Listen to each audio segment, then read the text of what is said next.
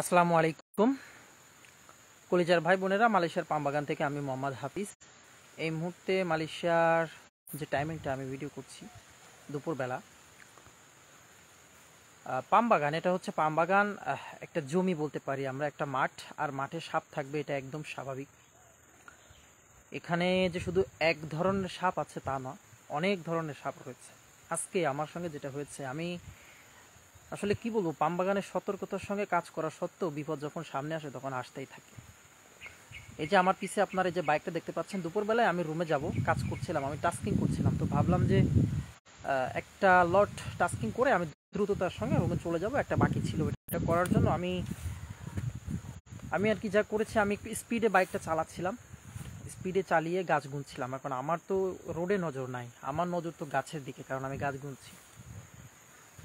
হঠাৎ করে আমার সামনে এমন একটা সাপ এসে পড়েছে, আমার বাইকটাও স্পিড ছিল। আমি কি বলব, আমি নিজেও জানি না, আমি মোটরটা ফেলে দিয়েছি, আমার কাছ থেকে পড়ে গেছে আর আমি এক পাশে পড়ে গেছি। কপাল ভালো ছিল, বিদায়, যাই হোক, সাপটা অন্য দিক দিয়ে চলে গেছে।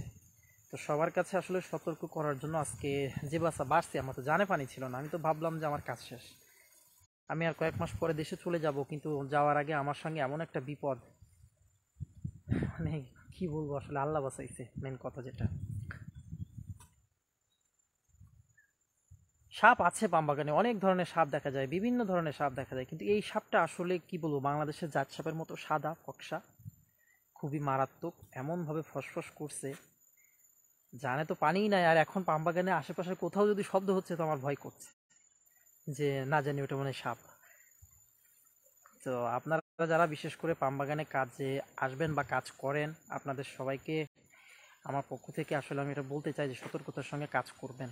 এই যে আমার মতো রুমে যাওয়ার জন্য যে একটুর জন্য, একটু স্পিডে গাড়িটা চালিয়েছি, আর একটু হইলে দেখা যাচ্ছে বাইকটা তো পড়ছে পড়ছে। আমি যদি ওই সাথে পড়তাম তাহলে তো আমার জীবনটা শেষ হয়ে যেত আজকে।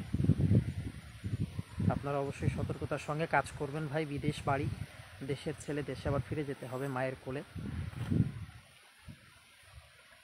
আপনারা অবশ্যই দেখে শুনে কাজ করবেন। পামবাগানের কাজ আসলেই কিন্তু অনেক রিক্সি। শুধু যে সাপ তা তো না, এখানে যে ধারালো অস্ত্রপাতি দিয়ে কাজ করা হয়, এটাও কিন্তু আসলে অনেক রিক্সি। কখন কোনটা লেগে যায়, কী হয়, আর কপাল খারাপ হইলে আসলে বিপদ হইতেই থাকে। তো যাই হোক বন্ধুরা, আপনারা ভালো থাকবেন আর অবশ্যই সতর্কতার সঙ্গে কাজ করবেন। উপরওয়ালা যাই হোক, বাঁচিয়ে রাখছে, আলহামদুলিল্লাহ, শুক্রিয়া।